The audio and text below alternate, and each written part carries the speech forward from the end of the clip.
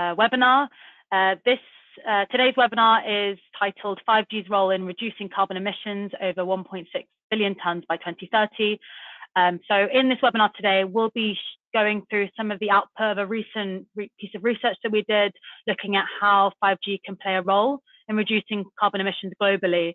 And we'll also be looking at how technology and connectivity is already playing a role in, in specific applications that are enabling the future energy ecosystem today. So um, let's get started. We've got a great lineup with us today. Um, so there's myself, I'll be presenting and moderating the panel. Um, we've also got my colleague Matt, who will be presenting um, uh, some parts of the research specifically focused on the use cases uh, that 5G can enable and uh, what operators and other parts of the ecosystem can, uh, can do to accelerate um, progress. And then we've got two, I guess, industry practitioners with us um, who are going to provide great insights. So we've got Charles from SmartKlub, which is a, a community sort of initiative which is um, enabling uh, decentralized energy ecosystems, and Phil from Octopus Energy, which is a, uh, a green energy supplier um, based in the UK. Um, and then last but not least, we have Ian, who supported us um, on the research and is uh, uh, from Huawei. So unfortunately, Ian's webcam is not working, but he is with us and he'll be um, definitely involved in the panel discussion later on. So just a quick note on the agenda. Um, I've kind of gone through this already, but um, just to recap, I'll go through the usual housekeeping to start with, and then dive into my presentation, uh, providing a bit of context of the framework and the thinking that we use to um, to think through this problem of how 5G can reduce carbon emissions and uh, touch on why 5G is relevant. What are, what are the specific characteristics that um, will be useful? Uh, then, as I said, Matt will uh, deep dive into some of the output of the research that I mentioned, uh, looking at some of the use cases, um, some of the applications that already exist, and uh, a bit of a kind of a call to action in terms of next steps for the for telecoms operators and the wider community.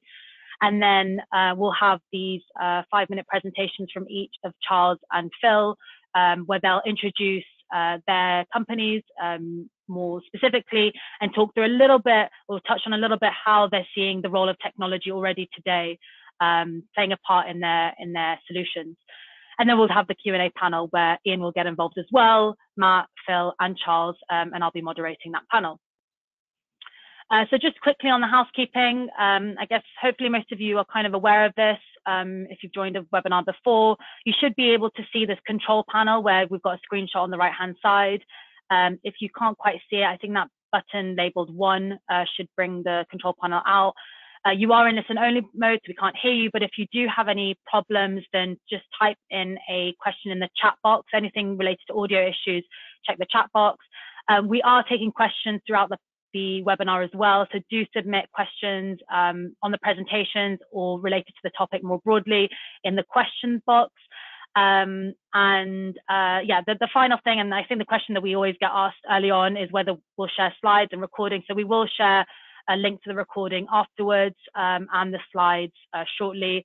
Uh, we'll also be sharing a uh, the Q&A documented, so the answer to the, the questions that you'll ask documented um, as a follow-up in the next week or so too.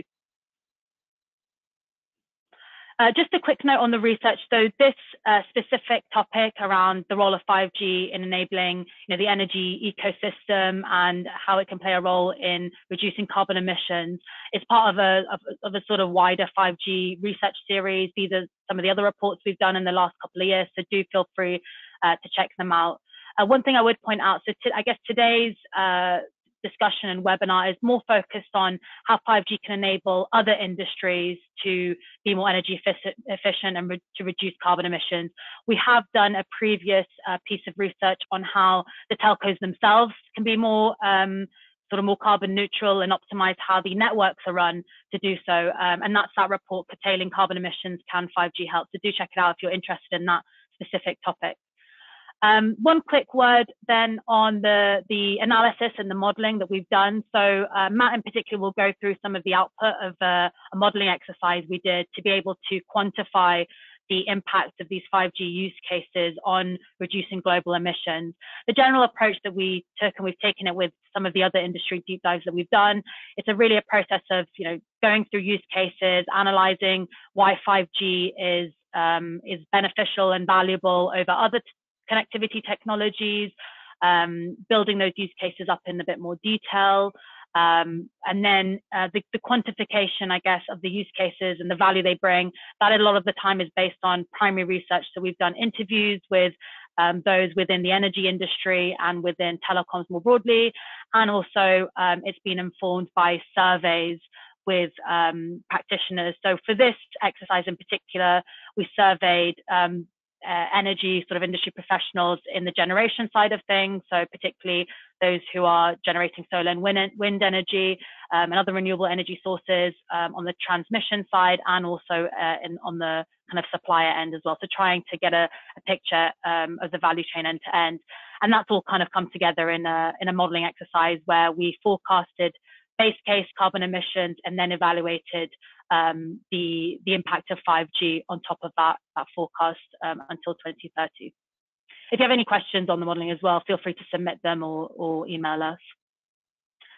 Okay, so um, so the first thing then to go into is uh, my presentation. So I'll be talking about uh, why 5G is relevant, and as I said, setting the context a little bit. And um, I think probably for Phil and Charles, um, uh, a lot of this information is not new. But I think for some of us within the telecoms industry, it's useful to understand um, the real, the key mechanisms that are driving, they're going to, that are going to drive a reduction in carbon emissions. So um, the first thing, I guess, is to introduce this framework that we we uh, came up with as we had to answer this key question of, you know, what are the use cases within the energy ecosystem that are going to need 5G? And then how are those use cases going to uh, make a difference when it comes to carbon emissions?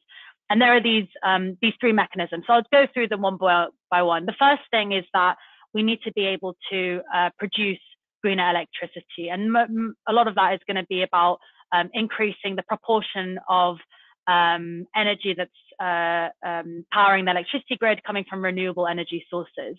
So on the next slide, what you have here is a chart which um, is based on some analysis by sort of third party, um, uh, you know, energy focused analysts. And when they when they've kind of gone through the process of, of um, evaluating how the world is going to reduce its carbon emissions, how energy consumption is going to change, what's been seen as a, a as a key driver is um, first of all that you know electricity is going to grow um, uh, in a, in consumption adoption, but also that there will be a need for more of that energy to come from um, solar and wind in particular. So what you can see on the chart is today, you know, very very tiny proportion of that is coming from solar and wind, but um, uh, we need that to, be, to, to grow to over sort of 60% uh, of total um, uh, um, power on the electricity grid by 2050. So that's a huge change. So what that means is any, um, I guess, use case, anything that can nudge that or that can accelerate the adoption of solar and wind um, on the grid uh, is going to be um, uh, valuable to be able to meet those carbon emissions targets. That's the first thing.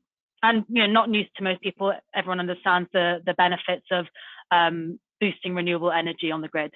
The second thing is that will need to transition to electricity.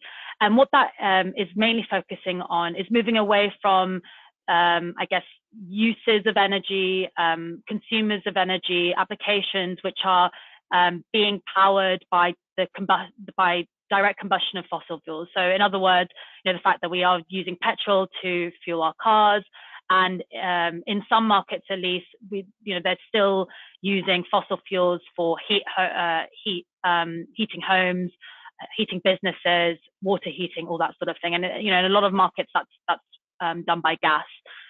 Um, and just to, to, I guess, show the significance of this transition um, that, that we'll need to do. And, and, the reason why, you know, we need to transition to electricity is because it will become, you know, it's a greener source of fuel compared to the direct combustion of, of, um, of oil and gas. Taking the UK as an example, so you know we analysed some data from 2018 looking at energy consumption across different uses. And what you can see here is just how much um, or how, how significant that transition um, from fossil fuel energy to electricity is going to be in these three key domains. So if you just, you know, just space heating, water heating and transport, if you compare that to total electricity consumption in the UK, um, I mean, space heating alone is significantly more than total electricity consumption. So you can imagine that that um, those shifting to electricity is going to be a, a, huge issue. The other thing, though, or the other way to look at it, there is a, a big opportunity. So again, the UK is not it's it's not the same case in other markets. Some some markets are um, much further down the line in terms of using electricity, but at least in the UK, there is a sort of a huge opportunity to, to make that transition because if you take um, transport, for example, about you know less than one percent of that total energy consumption is coming from electricity today, which is not surprising because you know we have low adoption of electric vehicles, but that needs to change going forward.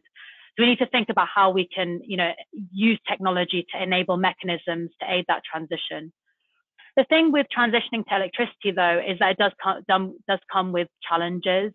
The first thing is just the sheer um, volume of um, demand that's gonna that's gonna be placed on the grid.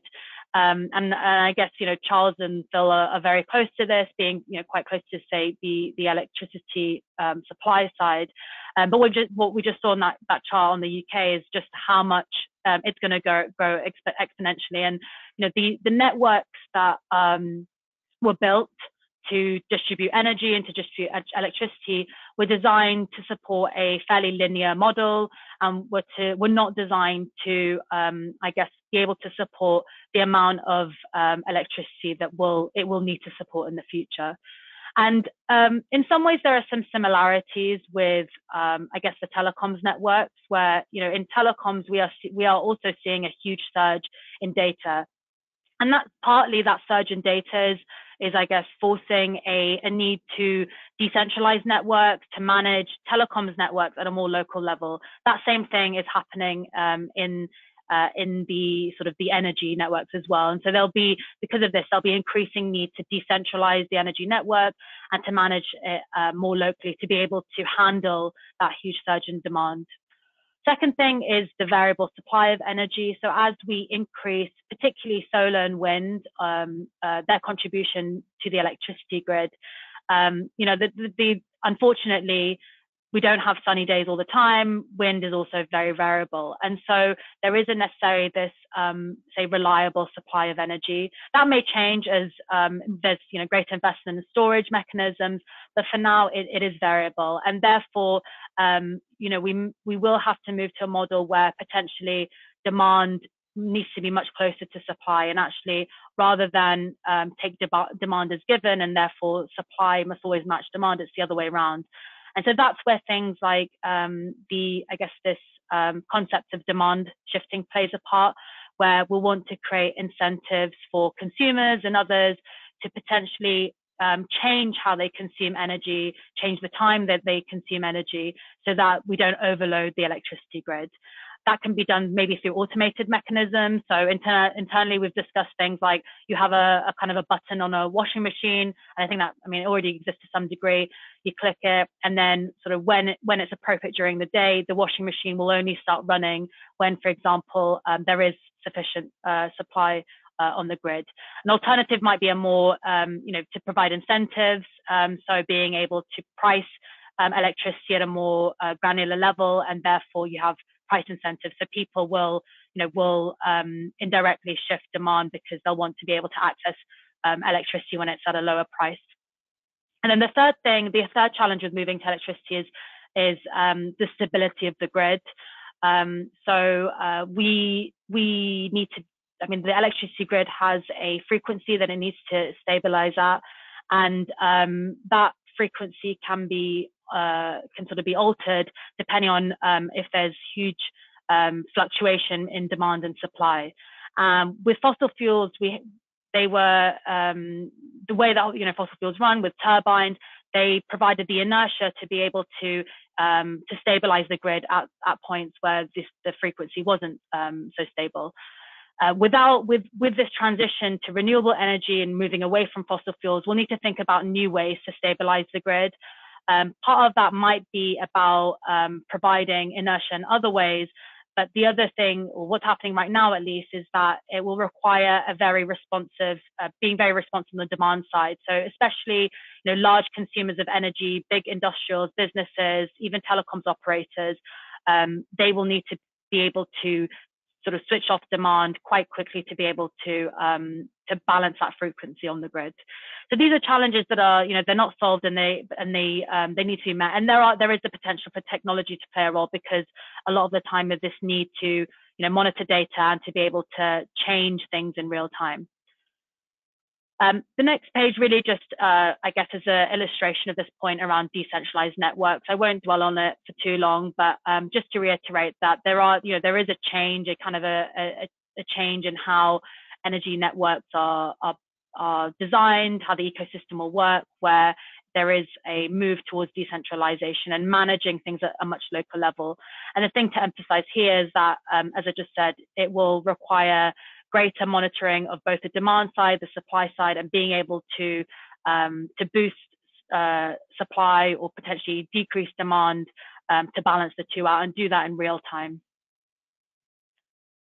And then the last, I guess, mechanism is energy efficient consumption. So um, this is really about being able to essentially, you know, reduce the amount of energy needed to do the same thing. So this could be about avoiding the need to um, to use energy entirely. So, for example, you know maybe things like using video calling to avoid the need to um, use your car to go somewhere or take a flight.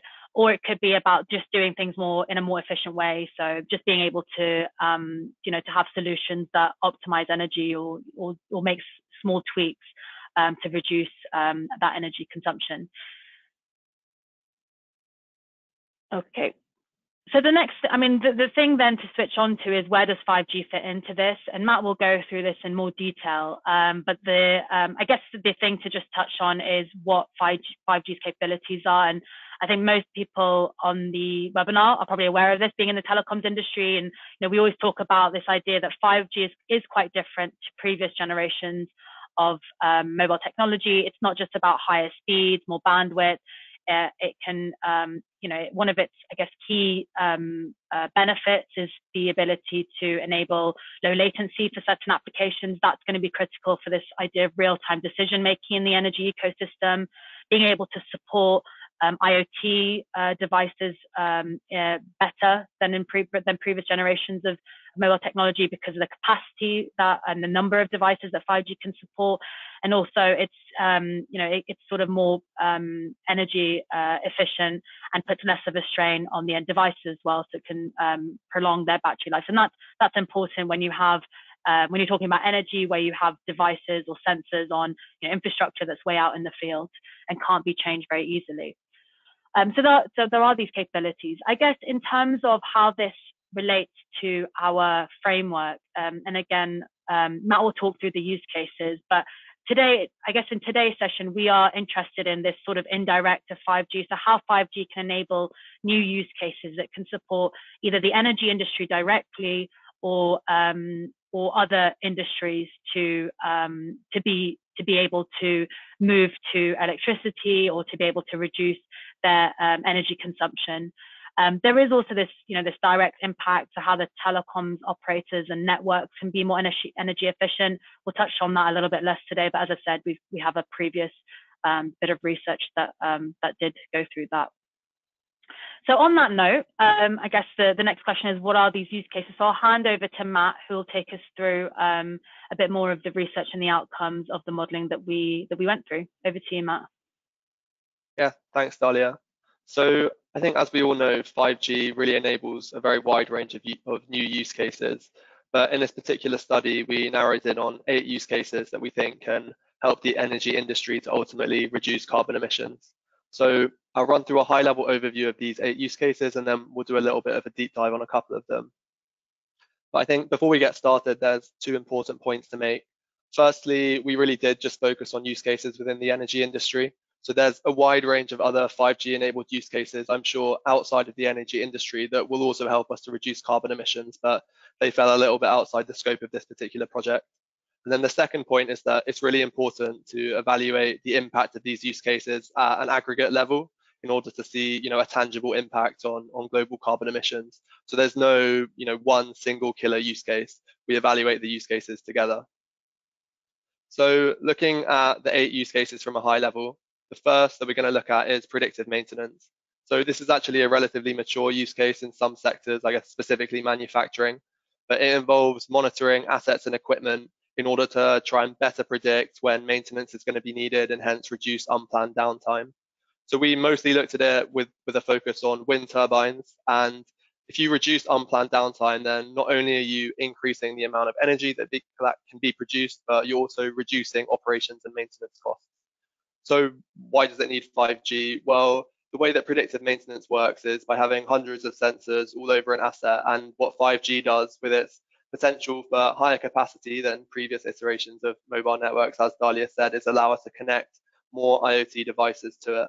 And it also provides a reliable connection. So the second use case, automated asset control, is actually very closely linked to predictive maintenance in that it also works by having hundreds of sensors all over an asset. Then these sensors collect data and feed it into um, an analytics platform where maybe using digital twins and AI, we can control these assets and kind of automatically alter them to try and maximize output.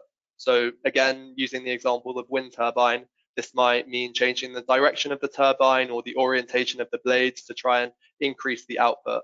So we need low latency in, in this instance to try and react to the conditions. And it's also important to have capacity, as previously mentioned.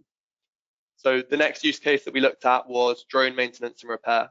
And drones can be really important in terms of reducing operations and maintenance costs because they really reduce the need to send out expensive field engineers.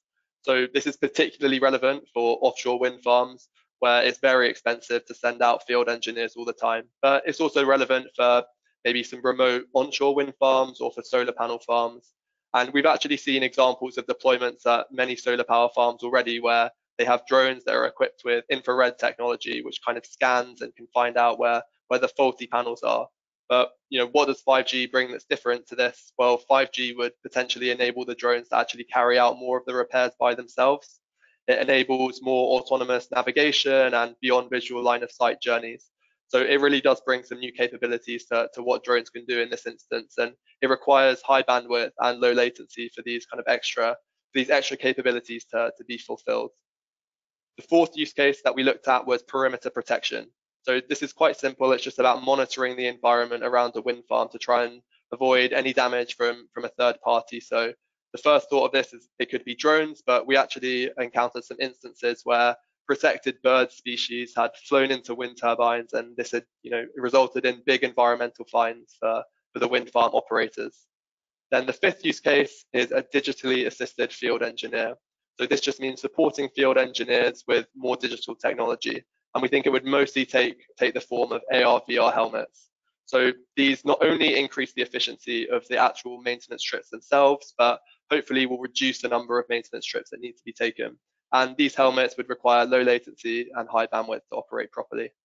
So these first five use cases are all fairly concentrated on the actual generation plants, but the last three are really quite different. So location-based battery supply this is about creating a, highly connected vehicle and road infrastructure, which would be able to support an electric vehicle battery swapping network and really try and avoid the, the long waiting times that we often associate with, with electric vehicles. So location data and AI would track demand for all of the batteries, and then we would try and optimize both the storage and the supply across the entire network. So the capability of 5G that is different here to the previous use cases is that we need mobility as well as low latency and capacity to handle the large number of devices. The penultimate use case that we looked at is energy demand and supply management.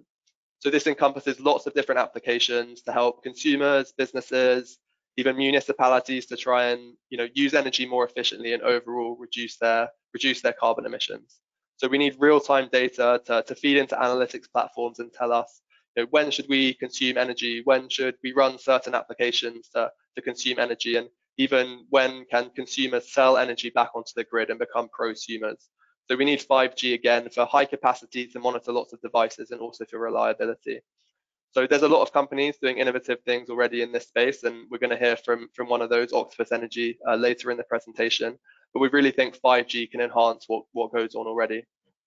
Then the final use case that we looked at is smart grid load balancing.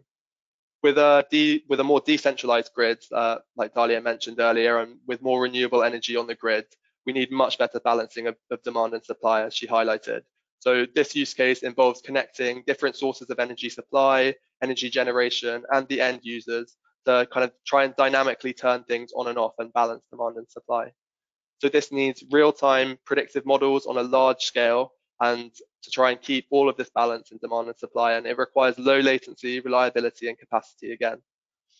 So on the next slide, we try and have a look at, you know, which capabilities of 5G are these use cases actually drawing from. And I think the first thing, well, the thing that you really note when you look at it is that most of them are kind of clustered in the middle, indicating that they actually rely on several of 5G's capabilities. I think maybe the exception being perimeter protection, which is mostly reliant on low latency. But we can also see, you know, which capabilities we were really looking into when we were investigating which use cases to take on. And low latency, device density and data volume, and ultra reliability and security were the main things that we identified. So the first use case or use cases that we're going to take a bit more of a deep dive on are, are the closely connected automated asset control and predictive maintenance. So they both they both rely on hundreds of sensors all over the, all over the asset. So in this case, mostly wind turbines, and they collect data not just on the weather but on the condition of the asset as well. And as highlighted, 5G really increases the number of sensors that can be, that can be connected. It also makes sure we're going to get this data reliably and that actually we can place sensors on the hard to hard to reach and fast sort of moving bits of bits of the wind turbine. This data is then fed into an analytics platform and in the case of predictive maintenance, the data could be sent to the, the maintenance teams in order to put the predictive maintenance processes in place. Or it could also be sent to supply chain partners. So if we were able to make sure that any replacement parts arrived in time, then it just further reduces any unplanned downtime and increases the output of a wind farm. In the case of automated asset control, we actually conducted a survey and we found out that 75% of solar power generators and 62% of wind power generators said that having the ability to automatically control their assets in response to conditions would increase their annual output by up to 10%. So this is clearly a very significant positive impact on renewable energy production. Most of the use cases that we had looking at generation plants were actually targeting operations and maintenance costs. So as we can see from, from this diagram, they're very significant. For offshore wind, operations and maintenance costs take up 28% of the entire lifetime cost of the farm. And for solar, this is 16%. So in reducing operations and maintenance costs, there's going to be a clear positive impact on the competitiveness of the farm. And then if we combine this with some of the use cases that actually increase the output of the farm, then I think we can be fairly sure that this that these use cases could accelerate the adoption of renewable energy.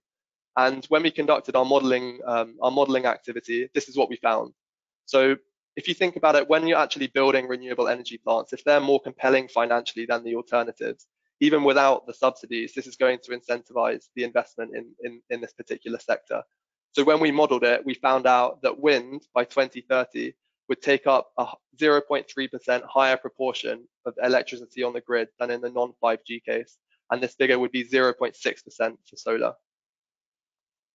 The next use case that we're going to take a little bit more of a deep dive on is smart grid load balancing, which is actually made up of a number of, of sub use cases. If we want these micro energy generators to actually sell back onto the grid, then we need aggregators who can bundle up the smaller suppliers into a big enough block that we can sell it into the grid. And companies like SmartKlub, who we'll hear from um, in a moment, they do this by consolidating energy from households or small businesses, small offices, schools, and something else that we can do is create a virtual power plant. So this would connect all assets to the market and then be able to conduct transactions actually on their behalf. This would clearly require a highly reliable, low latency connection that, that 5G can provide to actually monitor the assets in real time. For, for actually balancing capacity, we obviously need good predictors of supply and demand for energy, but also an ability to automatically scale generation or consumption up and down. We can do this currently, but nowhere near to the real time that there is growing demand for, and this is where 5G can step in. And then the final sub use case, another one that Dalia briefly touched on earlier, is frequency response. So now that thermal power plants are playing less of a role, it is harder to maintain the inertia required to maintain the target frequency of the grid. But short-term management of demand and supply is absolutely key for making sure we therefore avoid damaging fluctuations in, in frequency. So it's critical that we not only predict these fluctuations, but also are able to trigger any mitigating actions instantly. And again, the low latency, um, the low latency potential of 5G is, is, is critical here. So the point that I highlighted earlier, and it's important to reiterate, is that these use cases should be um, should be evaluated. The impact of these use cases should be evaluated at an aggregate level, and this is when we see a tangible effect on carbon emissions. So these use cases actually spread across all three mechanisms that Dalia mentioned earlier. And here we have, I guess, one of the main outputs from, from our modeling exercise, which shows the divergence in global carbon emissions between the 5G case and the base case. So we can deduce that the gap between the two is the impact of our five, of all of our 5G um, 5G use cases. So as we can see, by 2030, there is an annual difference of 254 megatons of CO2 globally, which is equal to approximately 64 coal-fired power plants in one year. This gap as well, we, we would only expect it to grow as obviously more countries are able to support 5G in the first place, but also as these use cases we, we've touched on today are able to develop and as we discover you know, more new 5G enabled use cases. But I guess the next question that we should be asking is what does this all mean and what are the next steps, not just for the energy industry, but for telecoms operators as well. And we tried to identify seven next steps that we thought it would be important to take note of across the technology industry, across governments, and of course, of course, the telecoms industry as well. So starting by looking at, at technology, the first point is that we need to ensure there is access to 5G in the right places. So we've often found that there's a discrepancy between clearly where your wind and solar farms are and where and where people live. But we need to build 5G where there's industrial demand, and this, in some instances, might involve um, the, uh, it might involve private 5G networks instead. Another point that falls under this first bracket is that we need to avoid any delay of 5G rollout. And in the previous STL study that, that Dalia um, mentioned earlier, we actually found out that an accelerated rollout of 5G will, will um, result in reduced carbon emissions. The second point is that we should leverage the unique benefits of network slicing. So network slicing is one of the fundamental and absolutely unique capabilities of 5G that really sets it apart from previous generations of mobile mobile connectivity. And it means we can provide tailored 5G solutions to different customers. So if we take the example of energy, we could have one slice which had mission critical connections to try and manage frequency response. This would clearly need to be highly reliable. But then we could have another slice which mostly managed electric vehicles, and this would need to have high mobility. Looking at the role of government, point number three is that the government should consider the role of technology in parallel with carbon emissions policy. So many governments, and some better than others, have supported renewable energy very well through subsidies. But we think it's important as well to actually consider, um, consider take a more holistic approach and include the role of technology when looking at carbon emissions policy. So as I kind of alluded to earlier, maybe with this you could, when looking at 5G coverage targets, instead of having population focused targets, have targets which focus on where low carbon energy generators are actually situated. Point number four is that we should streamline infrastructure planning across telecoms and energy networks. So both telecoms and energy actually they share something in common in that they both require vast physical network infrastructure, but it's not always easy to deploy them quickly as a result but better planning can really streamline this process. So a really great example of this is that in 2018, Deutsche Telekom converted 12,000 street cabinets into electric vehicle charging ports.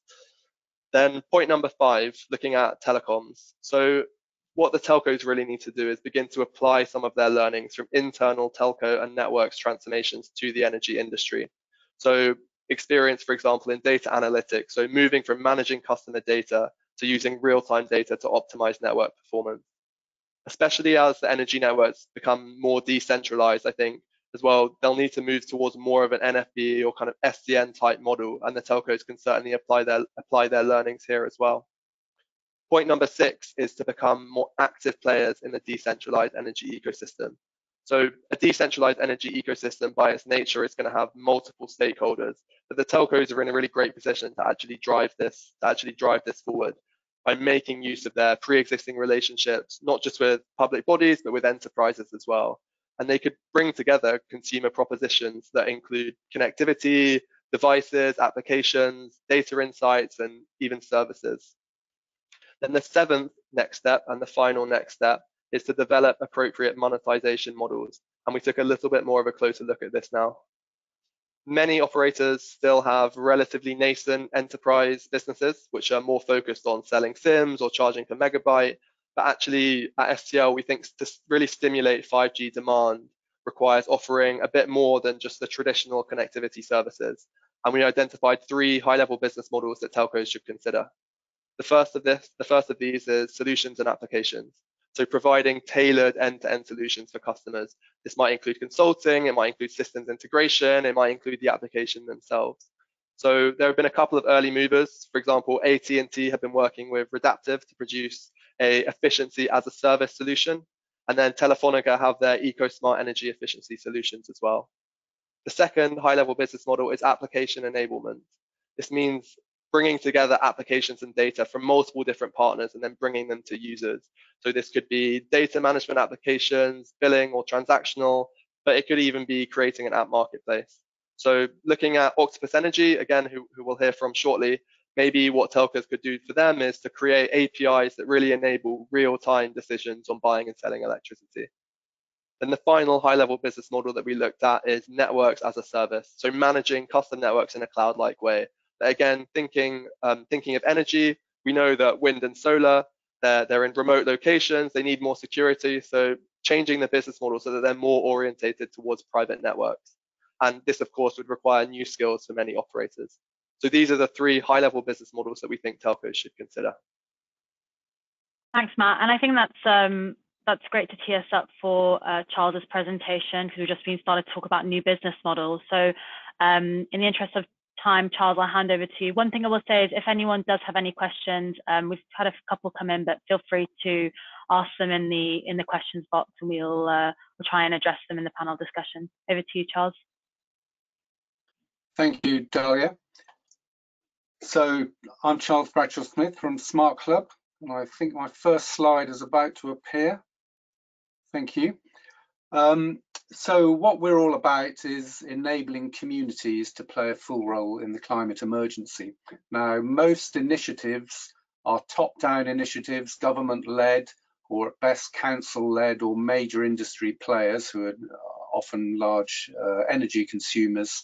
Um, they're motivated by their own actions, but actually, if we're to solve the climate emergency, it's you and I as normal consumers leading our busy lives that need to get involved. And that's our mission is to create a set of services that allow us to act as a trusted intermediary between ordinary people and the industry. And I'm sure if uh, Matt's slides have con convinced you of anything, it's that uh, building a smart grid is a complex thing, um, but without consumers adopting uh, receptive behaviors, and as you will see, without technology like 5G, it isn't going to happen. So the bit of the iceberg in the climate emergency that we really need to solve is a bit under the water, um, and that relies on communities. So that's what we're all about. And we're business model innovators. The technology is fantastic. Um, we're not going to uh, fail to solve the climate emergency because the low tech isn't there. We are going to fail because putting it all together into something that makes sense for society is very complicated and making it play um, appropriately in the energy system. And that's because the legacy of the energy system is about huge industry and huge economies of scale. So every time you take a breath in the energy industry, the fixed cost of doing so is very, very high. And this, this is the theme of where I think 5G can really help. Let me go on and explain uh, two projects we're involved with.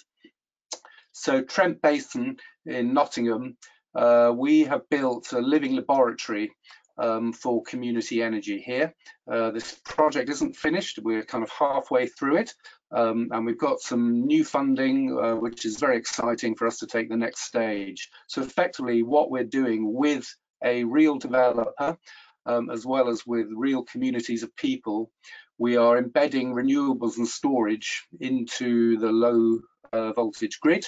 We're connecting the communities and we're adding value both to the communities by providing them with low carbon energy, but also by helping support the grid. Um, and Dalia said, uh, alluded to demand side response type mechanisms. And at the moment, these have mostly uh, revolved around avoiding making matters worse. So economy seven is a great example. It incentivizes you to stop using your energy at peak times um, and move that load into nighttime when, when there's less of a peak. And that's very helpful, but really um, until Octopus's agile tariff came out, and Phil can talk to you about that, uh, there wasn't anything that much more sophisticated. Um, and what we need to do is to shift uh, away from uh, communities' response just being avoiding making peaks worse to being actually active sponsors of helping support the frequency, for instance. So we're earning revenues in this community by frequency response and, uh, as, uh, amongst other things. And essentially, unless we get the grid smart, uh, to do that kind of thing, we, there is no chance that we can accommodate all the growth in electrification from electric vehicles and from heat pumps, uh, knocking out petrol and gas as fossil fuels without a really active grid and without active communities. And ultimately, we've got to get this right down to the in-home appliance level. Um, and again, a legacy of the energy industry is that the cost of switching things on and off is so high at the moment that only huge loads um, actually participate. Whereas if we can get in-home appliances, and of course there are tens of millions of these across the country, we can have a very accurate statistical understanding of how to switch these things on and off at the right time, that it's a very stable and fruitful model. But it does require high connectivity um, so we are hoping that 5G allows the Internet of Things to be ubiquitous uh, and that ultra low latency, as Matt's already alluded to, gives us valuable responses. The faster you can respond with an energy asset, the more valuable it is to that community.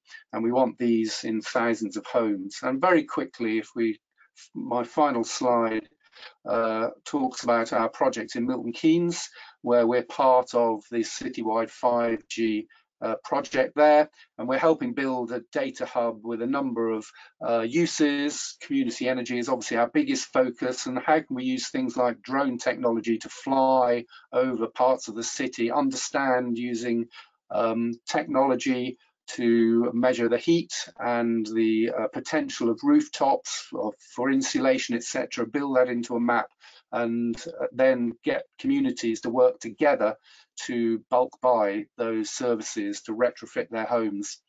We're doing things like that. Also involved in the project of things like autonomous vehicles, which obviously uh, need 5G um, as well, all the way down to what you might consider more mundane things like controlling ventilation um, to benefit health with air quality. And again, you'll see a theme here. This requires lots of IoT, uh, ultra low latency, uh, and we need to get those uh, 5G uh, devices into public realm assets as well as uh, in the appliances at home. So we have great hopes for, for 5G. That's it from me. Thanks, Charles. And then we'll do a smooth transition to Phil to do your uh, your intro as well. Great, thank you, Dalia. Uh, Matt, Charles, very interesting presentations. Thank you. Matt, can you give me the next slide? Uh, and the next one. So, my name is Philip Steele. I'm the Future Technologies Evangelist at Octopus Energy. It's a bit of a grand title. In fact, some people refer to it as the best title in the energy industry. What that means is that I head up a lot of our innovation and research projects. So I'm just going to touch on a couple of those as I go through the slides. Uh, and Charles has already mentioned the agile tariff uh, as one example. So next one, Matt. So this is kind of like a, a, summary slide of what we see in the domestic space around what we call smart energy. So if we look at the smart meter, which is in the center of the diagram there, um, that's where it all starts for us as to how we manage smart intelligent tariffs in the home. Um, that gives us 30 minute data of, of uh, the energy consumption in the home. Um, and that allows us then to do things, whether it's with storage, so battery systems, um, solar generation, electric heat. Um, so as Dalia had in her slides there, electrification of things in the home is becoming important, move, trying to move away from gas and other fossil fuels. Um, and, and, then electric cars fit into that as well. So as well as Octopus Energy, there's a sister company, Octopus Electric Vehicles, and we sell and lease um, electric cars as well, which is really important for the electrification of, um, of homes. Um, now, when you put together that combination of things in the home, appliances as well as Charles mentioned, then how do we get that energy to the home from the grid? Um, how do I share my energy with other homes? So kind of peer-to-peer -peer trading type scenarios. Um, and where's my renewable energy come come from? Um, and what you can see there is this is all around data and control APIs and Kraken. Kraken is our IT platform that we've built from scratch um, that enables us to do really smart tariffs and clever things with smart meters, data, control, APIs and things. Uh, next slide, please, Matt. So one of those is the, the Agile tariff. Now, um, the wholesale market in the energy industry is, is uh, energy suppliers are buying energy usually on about a 12 month basis ahead for somebody on a regular flat rate tariff. But actually, there's also the day ahead market, um, and that's where energy is is priced per half hour of the day according to what the forecast demand is and what the forecast generation is. So on very windy days and lots of strong solar days, we will see the wholesale market actually dip quite significantly. Between 4 p.m. and 7 p.m., the wholesale market is actually very high. So we created this tariff called Agile that tracks that wholesale market and provides that straight through to consumers. So consumers now become aware of what the energy market is doing. Um, so in this screenshot here from middle of August, um, you can see that the Agile price was down six, seven, eight pence. Um, that's very low compared to a normal flat rate tariff of about 15 pence or so. But the opposite of that is that between 4 p.m. and 7 p.m. the price is, is, is 25 to 35 pence per kilowatt hour. And what we've seen is customers have used this and have started to decide how to use energy and how to use assets that I had on the previous slide in clever and smart ways. Um, and there's APIs, therefore, that are connected to this. And a lot of things has now started to be connected to it to charge electric cars at the cheapest time of day, um, to um, run heating systems at cheapest times of day and things like this. Now that wholesale price actually affects the the, uh, the wholesale market, which is therefore very driven by renewable energy, as we see renewable energy becoming very distributed, but also very intermittent. Um, so strong um, wind days and strong solar days. Can you give me the next slide, Matt? Um, so one of the uh, impacts of that is that when we have very strong wind, we actually have negative days, uh, and we call that plunge pricing. So customers on this tariff, when there is excess wind generation, the, the wholesale market actually reflects that as a negative price. The, the, the, the grid is trying to shift that supply and get it consumed by anybody that consume that energy and will actually go negative. And so you can see here customers are sharing this on, on Twitter that they're going to get um, credited by us for consuming energy when we have those negative events. Um, we had one, the last one was about uh, two weeks ago on um, on a Sunday afternoon. It actually went as low as nine, minus nine pence per kilowatt hour um, in the north of Scotland. It varies up and down the uh, down the country. Um, and that's really interesting that we're now encouraging customers to consume renew renewable energy with these sorts of tariffs. Next one, that. Um, and that's all based on the smart meter. Now, obviously, the smart meter requires connectivity. Uh, if you give me the next one. Um, and that's where then I look at the, at the role of 5G for us in the energy industry. Now, I would like to see more of those devices and appliances and things connected. What I'm seeing at the moment when I look at, um, this is Telefónica's website around 5G, is more of a focus on um, uh, mobile phones and tariffs and uh, around that some of the points covered in the previous presentations around latency and uh, bandwidth and so on. And those are kind of less of a requirement for us at the moment with the sorts of things that we're doing. We're measuring half hour data and we're charging customers for use of that of their energy per half hour. And we're not quite into a real time or a high high um, bandwidth or a low latency requirement. Next slide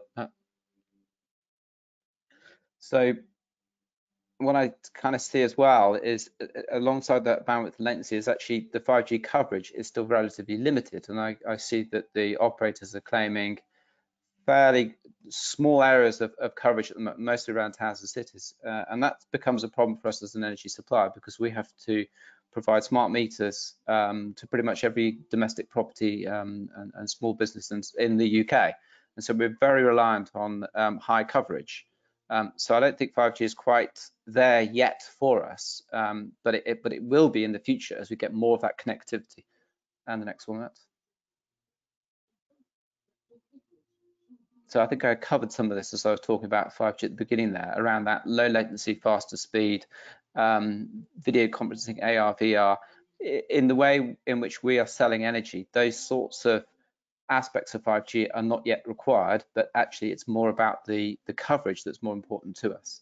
Um, the other thing I wanted to just note as well on that um, earlier diagram I showed of the, of the house is that it's actually very fragmented technology at the moment. And each of the appliances in that picture, so whether it's a battery inverter or a vehicle charger or even a, a V2G charger as well, um, and some of the smart home appliances are all using different communications methods.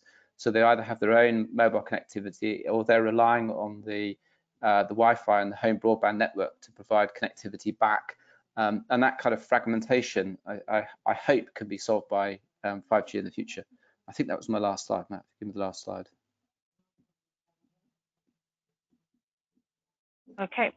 Well, thanks, Phil. So we've got about um, 10 minutes left for this for the panel for the for the Q&A. I think you've you've actually teed us up uh, quite well, Phil, for um, at least one of the questions that have come in. Um, and I think the first thing I, I want to bring Ian in because he's been patiently uh, waiting on the side there. So one of the questions we have is, um, uh, you know, do you agree that 90% of these use cases can be delivered via 4G or other connectivity means? Um, so I suppose, you know, another way to put it in is, you know, what, what, where do you see 5G playing a, a very specific, unique role in the energy ecosystem? I think, uh, thanks, Dana. And hello, everyone. Uh, apologies for not being uh, on uh, the video. My camera doesn't want to connect to the system. Um, yeah, I think I think the issue about this is, to me, and I've always felt this in the in the comms industry, that it's it's about horses for courses. Yes, you know, today some of the use cases could be done with 4G, but they're not being done with 4G. I think there's um, an opportunity to use the newer, faster uh, technologies um, to broaden the scope of the coverage of the uh, of the country. And you might want to do that because uh, when we talked about, Matt talked about um, you know the large volume of um, sensors on various devices, and uh, and so did um, so did Phil. Um, potentially, you know, if you're going to get a large volume of devices all trying to talk to the network at any one time, that starts to stress the network. Well, 5G can handle you know huge volumes, uh, you know, a million devices per square kilometre. And so there's an opportunity there. But I think the real answer to all this is that you have to scope out um, an end-to-end -end solution and you have to use the right technology in the right place. And I think in a lot of places when we've been discussing this uh, this um, uh, set of um, uh, analysis, 5G has been the right answer, but equally well, there could be some opportunities for 4G and indeed in, in indeed Wi-Fi. Um, and I think, you know, as our uh, demand for bandwidth, the insatiable demand for bandwidth, the in, insatiable demand for higher speeds and lower latency works through, we'll find 5G being um, the leading technology there, um, as well as the fact that, you know, it's a very secure technology, more secure than others.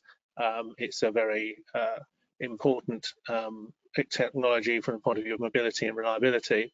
Um, and also, as I, as I mentioned, really the capability it has for the density. Uh, I think that's where it'll where you'll see um, 5G really being pushed.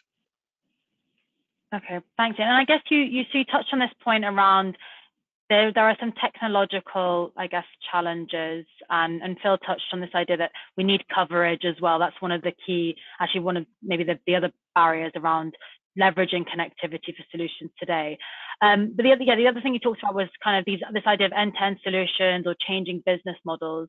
Um, so I wanted to get um, maybe Charles your view on this because you know you you are the business model innovator. So to what extent do you feel that? So this is a question from the audience. To what extent do you feel that the commercial models are in place to support the investment needed for the 5G-enabled energy-saving solutions? And what are some of those commercial models, I guess, that you're exploring? Um, well, first thing to say is, you know, I'm not a telco expert, so um, uh, I'm deal in energy business models, uh, but nevertheless, I have a keen interest in this topic, um, and I think um, the kind of pay-as-you-go approach um, for telco uh, might need to be revisited in the energy world, uh, most energy assets have an expected lifetime of 20 to 25 years uh, in the built environment. Um, and you want to be want to have a very predictable uh, revenue and cost structure for that time. Um, yes, the value moves up and down the energy value chain, um, but you don't want anything too unpredictable. So perhaps uh, we ought to start thinking about having business models where the connectivity um, and uh, the data transmission uh, is built into the asset cost for hmm. life. Um, you know that would make me happy and make things a, a lot simpler. Um, so that would be one example, um, and then then we've got predictable behaviour. Um, I think um, also um, the the idea of turning everything into a variable cost um, needs to be encouraged. I know the telco industry has gone a long way doing that uh, as mobile telephonies come in anyway. But if it goes the extra mile and makes everything a variable cost, I think adoption in the kind of speed that Matt referred to is um, far more possible um, than if there's always a, a, a large uh, upfront cost or fixed cost. Mm -hmm. Yeah, that's interesting. And there's, I mean, there's another question that's kind of related to this, where the person said, know, it's great to have a network, but there's an entire ecosystem of organizations that have to make the move. You know, if they want to adopt 5G, that might be from other cellular technologies, 3G or 4G, or it might be from LoRaWAN or Wi-Fi, whatever it might be. And so the question is, why would, you know, for example, why would a smart energy monitor hardware manufacturer invest in the design of a new 5G enabled device when the cost is, is higher than other solutions? Um, so Phil, I'd like to get your, you know, your answer to that question, but also a little bit of, you know, your experience with you are working with connectivity and how you've sort of thought through this question around business model because I guess you are serving consumers, but at the same time you, you know, you have a, a sort of a full ecosystem approach. You're working with companies like Tesla, um, smart charging, um, kind of cables, all that sort of thing. So it'd be good to hear your views on on how you provide incentives for those other parties as well. Yep. So um, if we look at the current connectivity, it's uh, I think the, the smart meters have got 3G in two parts of the country on the Telefonica network, and then it's the Arqiva wide area network in the north. So um, already there's a non-cellular technology that's being used for the for the smart meter infrastructure. Um, I, I, think because I, am I'm, I'm focusing more on the domestic um, side of things, and pretty much wherever we're putting, uh, so you referenced there the Tesla tariff. So so that's um, a tariff available to customers with a Tesla Powerwall and a Tesla car, and um, the headline rate is eight pence import and eight pence export, which again is very low compared to a 16 pence um, tariff. That um, proposition manages the battery in such a way to even out and, and, avoid the times when we're paying more for electricity on the wholesale market, so that four to seven period that I mentioned. Now, the customer is getting the benefit of the Tesla service through their tariff, and it's only possible if we can reach that battery. So it's in the customer's interest to ensure that that battery system and their um, vehicle charging and so on stays online.